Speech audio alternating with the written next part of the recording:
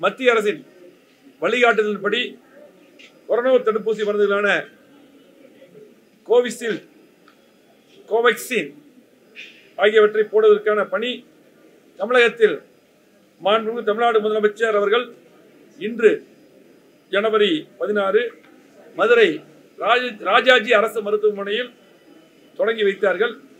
அது தொடர்ச்சியாக நம்முடைய கோயம்புத்தூர் மாவட்டத்தில் கொரோனா வைரஸ் தொற்றிற்கு எதிரான தடுப்பூசி முகாம் இப்பொழுது நடைபெற்று இப்பொழுது துவக்கி வைக்கப்பட்டது.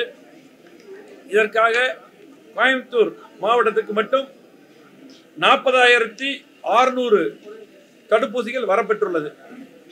இதற்கென நூற்றி அஞ்சு குளிர்சாதன தடுப்பூசி பாதுகாப்பு மையங்கள் ஏற்படுத்தப்பட்டுள்ளன.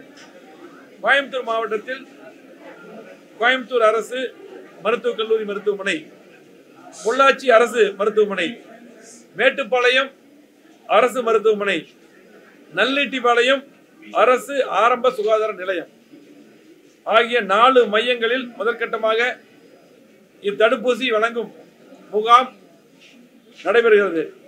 இத்தடுப்பூசி போட்டுக்கொள்வதற்கு அரசு மருத்துவமனைகள் ஆரம்ப சுகாதார நிலையங்கள் மற்றும் தனியார் மருத்துவமனைகள் மூலம் ஐம்பத்தி ஏழாயிரத்தி நாலு நபர்கள் கோவின் ஆப் மூலம் தற்போது வரை பதிவு செய்யப்பட்டுள்ளது. ஒரு மையத்தில் நூறு பேர் வீதம் நானூறு நபர்களுக்கு முதற்கட்டமாக தடுப்பூசிகள் போடப்பட உள்ளது.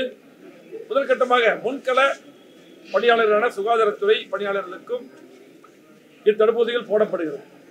அரசு மருத்துவக் கல்லூரி மருத்துவமனையில் மருத்துவக் கல்லூரி முதல்வர் முப்பத்தி நாலு மருத்துவ அலுவலர்கள் முப்பத்தேழு மருத்துவக் கல்லூரி மாணவர்கள்.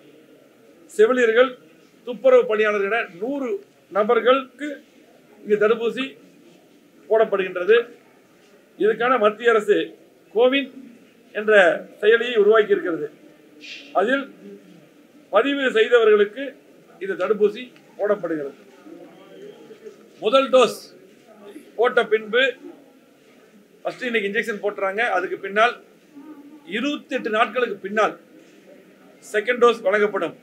அதனைத் தொடர்ந்து பதினாலு நாட்களுக்கு பிறகே நோய் எதிர்ப்பு சக்தி உண்டாகும். இதுலேயும் அந்த டோஸ் போட்டவங்களுக்கு இங்கேயே வந்து நம்ம டீன் கிட்ட வந்து அந்த நாடு கலெக்டர் பேசணும். அவங்களுக்கு வந்து ஒரு ஒரு மார்க் வச்சுருக்காங்க. ஒரு டோஸ் போட்டதுமே க்ரீன் மார்க் டிக் ஆயிரும். அதுக்கப்புறம் அந்த இருபத்தெட்டாவது நாளில் அவங்க வராட்டி கூட இங்கேருந்து ஃபாலோ பண்ணி அவங்களுக்கு மெசேஜ் போயிடும் இவங்க ஃபாலோ பண்ணி அவங்களை வர வச்சு அடுத்த போட்டதும் அடுத்த டிக்கா கிரீன்ல க்ரீனில் இப்படி சரியான முறையில் நம்முடைய அரசு மருத்துவமனை நம்முடைய டீன் டாக்டர்ஸ் எல்லாம் ஃபாலோ பண்ணுறாங்க பதினெட்டு வயதை எட்டியவர்களுக்கு மட்டுமே கொரோனா தடுப்பூசி பெற்றுக்கொள்ள அனுமதிக்கப்படுவார்கள். இதில் கர்ப்பிணி பெண்கள் பாலூட்டும் நிலையில் உள்ள தாய்மார்கள் தடுப்பூசி போட்டுக்கொள்ளக்கூடாது முதற்கட்டமாக எந்த தடுப்பூசி மருந்தை பயனர் பெறுகிறாரோ அதே மருந்தைத்தான் இரண்டாவது டோஸ் பெறும்போது அவர் போட்டுக்கொள்ள வேண்டும். ஏன்னா கம்பெனி டிஃப்ரெண்ட் இருக்கும். எந்த மருந்து போடணும் அதே தான் அடுத்தது செகண்ட் டோஸ் போடணும். தொற்றிலிருந்து மீண்டவர்கள் குறைந்தபட்சம் நான்கு முதல் எட்டு வார இடைவெளியை தடுப்பூசியை போட வேண்டும் இடைவெளியில். கொரோனா தடுப்பூசிக்கும் வேறு தடுப்பு மருந்து பெறுவதற்குமான இடைவெளி பதினாலு நாட்கள் இருக்க வேண்டும். கோயம்புத்தூர் மாவட்டத்தில் இந்த தடுப்பூசி போடுவதற்கு முன்னதாக ஒத்திகை மற்றும் பணியாற்றும் அனைத்து பணியாளர்களுக்கும் போதிய பயிற்சிகள் நடத்தப்பட்டுள்ளன. தடுப்பூசியால் எந்த பக்க விளைவுகளும் ஏற்படாது தடுப்பூசி பற்றி பரிச்சார்த்த முறையில் தடுப்பூசி போட்டு பரிசோதித்து ஆய்வு செய்யப்பட்டுள்ளது.